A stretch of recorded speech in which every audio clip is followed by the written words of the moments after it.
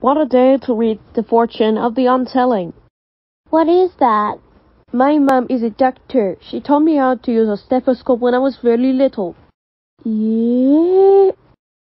There.